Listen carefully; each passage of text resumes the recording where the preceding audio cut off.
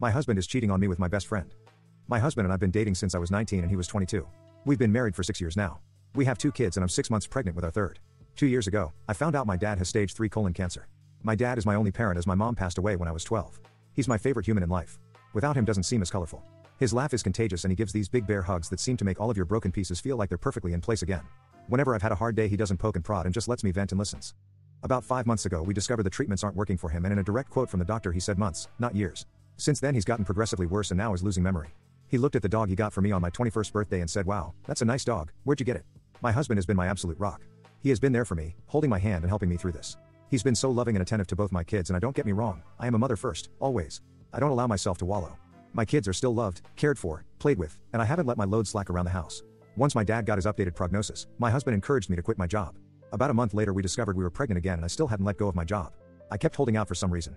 After finding out I was pregnant again, he assured me it was still okay to quit my job, that honestly it would save us a small fortune on daycare costs. Anyways, so I did.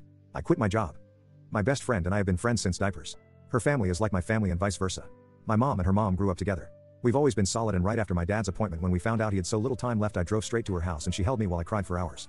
If there are soulmates in friend form, she was mine. Thick as thieves is what my mom used to say this morning as I was up with my three-year-old. He's sick. My husband's work alarm was going off. He has a few he sets so I turned that one off and gently wake him up. He said he was up late working so he took the morning off, rolled over, and went back to sleep.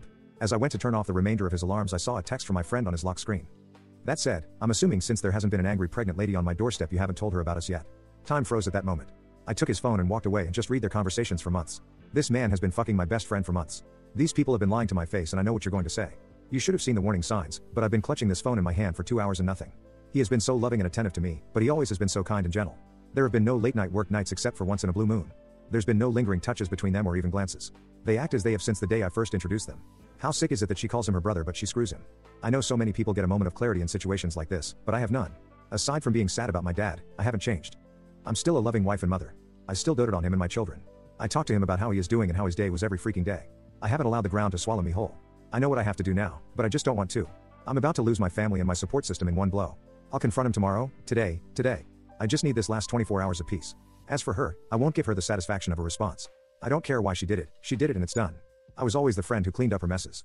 After today, I will cut her out of my life like she never mattered at all. This has to be the hardest storm I'll ever weather but damn it, I know it'll sail through it. If not for me, for my children.